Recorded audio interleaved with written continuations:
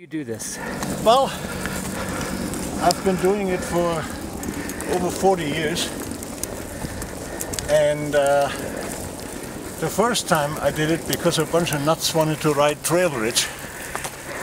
And I had an old bicycle with a cracked seat.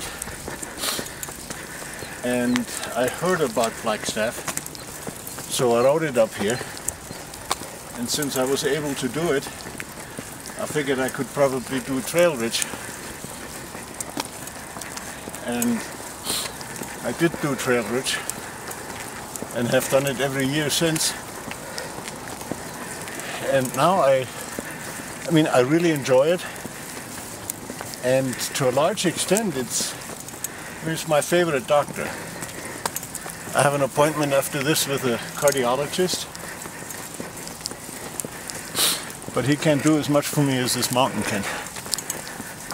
And it's amazing whether I have a backache or a shoulder ache or a headache or a cold. If I come up here, it's usually gone.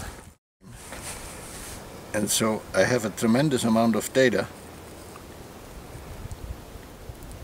and it takes me now about two times as long as it used to take when I was a young man.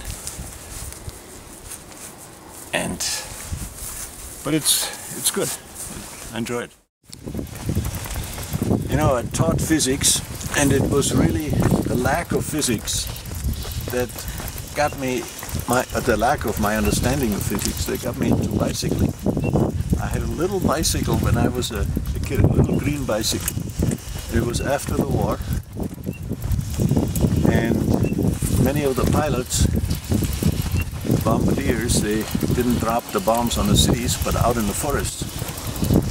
And so there were craters and sand and dirt piles, and we would race on those. And with a little bitty bicycle, I could do things that, you know, the guys with the big bicycles simply couldn't do. So they thought I was hot stuff.